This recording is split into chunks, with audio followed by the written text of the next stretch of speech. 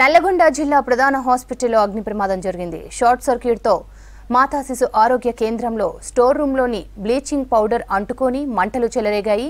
పొగ వ్యాపించడంతో భయంతో పసిపిల్లలతో బయటకు పరుగులు పెట్టారు మాతా శిశు కేంద్రంలోని తల్లులు.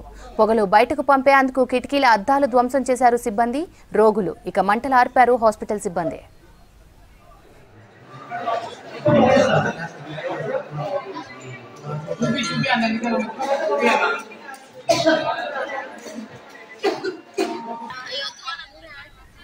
నల్గొండ హాస్పిటల్లో అగ్ని ప్రమాదానికి సంబంధించి మరిన్ని డీటెయిల్స్ శేఖర్ అందిస్తారు. శేఖర్ ప్రమాదానికి సంబంధించిన అప్డేట్స్ ఏంటి?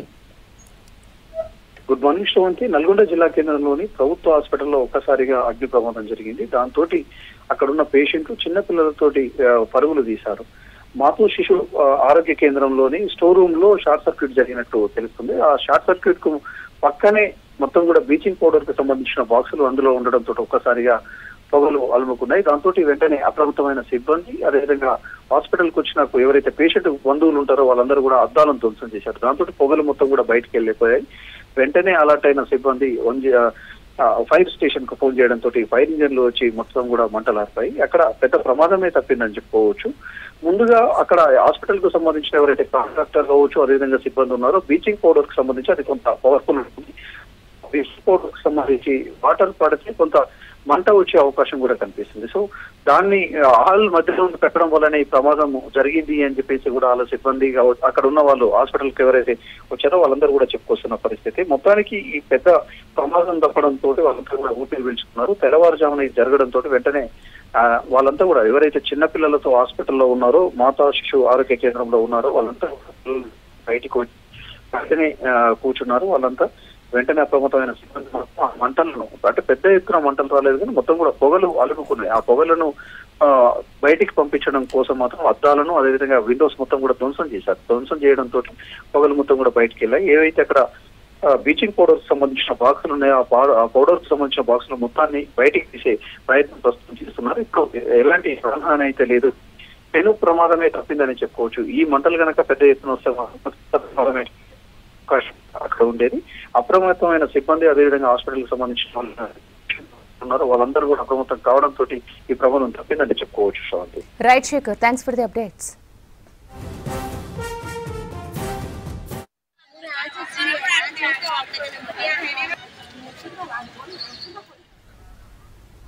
Nalgonda జిల్లా ప్రధాన హాస్పిటల్లో అగ్ని ప్రమాదం జరిగింది. షార్ట్ సర్క్యూట్తో మాతా శిశు ఆరోగ్య కేంద్రంలో స్టోర్ రూంలోని బ్లీచింగ్ పౌడర్ అంటుకొని మంటలు చెలరేగాయి. పొగ వ్యాపించడంతో భయంతో పసిపిల్లలతో బయటకు పరుగులు పెట్టారు మాతా శిశు కేంద్రంలోని తల్లులు. పొగలు బయటకు పంపేందుకు కిటికీల అద్దాలు ధ్వంసం చేశారు సిబ్బంది రోగులు. మంటలు ఆర్పారు హాస్పిటల్ సిబ్బంది.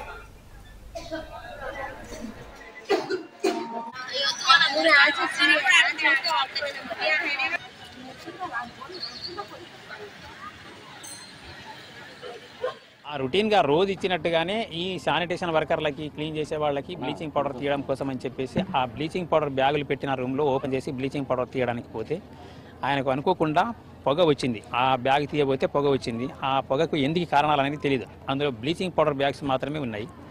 సో ఈ పరిస్థితిని గమనించి అందరు అలర్ట్ అయ్యి పైన పేషెంట్లను పైన ఫస్ట్ ఫ్లోర్ సెకండ్ ఫ్లోర్లో ఉన్న వాళ్ళను కింద పేషెంట్లను అందరినీ కూడా బయట తీయడం జరిగింది. ఇప్పుడైతే ఎవరికి ఏమీ ప్రమాదం జరగలేదు ఈ ఇన్సిడెంట్స్ వలన. అందరూ సేఫ్గా బయట ఉన్నారు.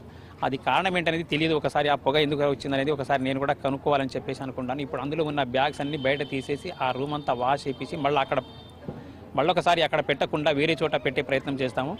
ఇట్లాంటి పరిస్థితులు మళ్ళీ పునరావృతం కాకుండా ఫర్దర్ జాగ్రత్తలు తీసుకుంటాము. మీరందరూ కూడా దయచేసి ఉన్న ఇన్సిడెంట్స్ మీ ముందు జరిగింది మీకు మీకు కూడా మీ ప్రజెన్స్లో జరిగిన ఇన్సిడెన్సెస్ కాబట్టి దయచేసి పరిస్థితులు అనుకూలంగా అంటే అనుకూలంగా ప్రతికూలంగా కాకుండా ఉన్న సిచ్యువేషన్స్ని ఉన్నట్టుగా రాయగలరు. సో దీనికి ఏమన్నా అడ్వర్స్గా ట్రీట్ చేయకూడదు.